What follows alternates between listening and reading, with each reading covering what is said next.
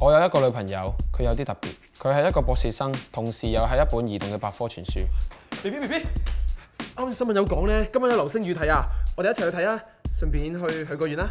流星雨系属于宇宙陨程，佢系坠落有机会破坏航天器，甚至乎伤到人。况且向流星许愿根本就系冇用噶，佢只系一个自然现象，所以你都系快读嗰啲书啦。哦，咁咁我去拎本《海贼王》睇下。B B，今日咧双十一啊，你有冇咩想买啊？我帮你埋埋单啦。喺经济学嚟讲，双十一根本就悭唔到啲咩，佢只系一个激励机制，利用价格歧视同埋未来消费嚟制造一个全民购物嘅环境。你呢啲只不过系羊群心理嚟嘅啫。哦，咁我十二号先买咯。就系咁啦，佢无时无刻都喺我面前跑书包，最过分嘅系连呢啲时候都唔放过。啊，啊，喂，B B，呢招新招式劲唔劲啊？其实我唔建议你用呢个姿势咯，呢个姿势难度咁高，对于体力同承受力都有一定要求。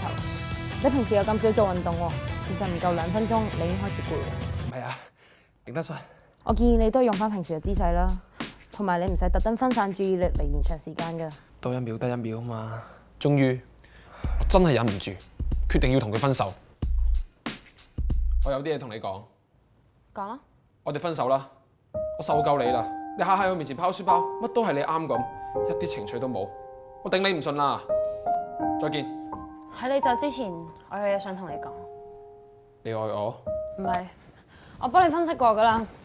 你样衰，冇钱，性格恶劣。以你今日条件，如果仲想揾到第二个女仔嘅话，机率应该仲未过你直接去搞基。